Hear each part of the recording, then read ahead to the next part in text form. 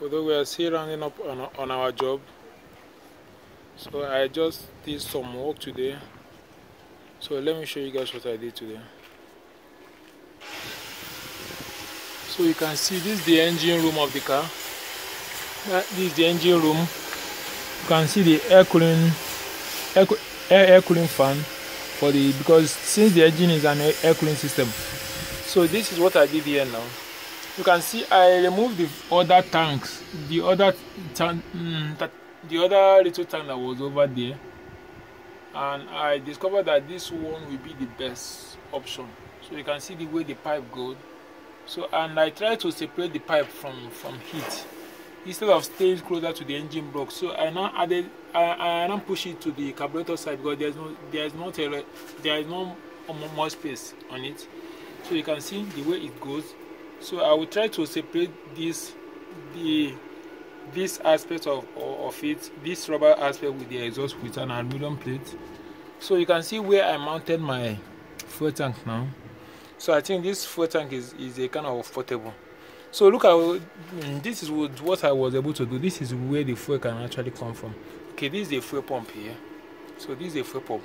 So this fuel pump actually so whenever the you are, you are trying to refill your tank so when they put the, petrol it goes inside here then from here this fuel pump pumps it to the to this blue, to the blue tank that you are seeing over there. Then from this blue tank it now flows to inside the carburetor. So that's the job i that is the idea that i actually i'm actually using for now. So you can see that these are not an, a very wonderful awesome job. And very soon i'll be trying to demarcate. You, you, you can see the ground of what i'm doing so i'll be trying to do the do the demarcation of the in, inside part of the car and the engine system. So guys you can see there's a lot of work and a lot of uh, progress still going on on this job. So please if you're new to my youtube channel i would like you to subscribe. Thank you very much all. I love you all. I love you guys. Thank you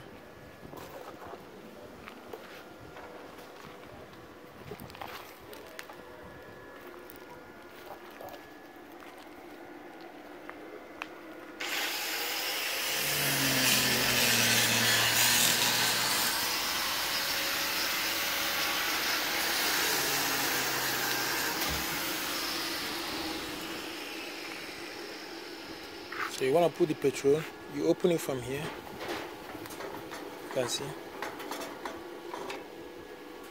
can see it. So after putting the petrol, you, you cover it back. And you can see the idea that I use. I try to do it in, in such a way that the level of it, you can see, I, I can put this on top. It will not affect the cover of this, this tank. So it is actually part of the, the, the calculation. So you can see how level it is so you see go to the engine they're viewing the engine from the back. So you can see every every uh, all the engine system on it.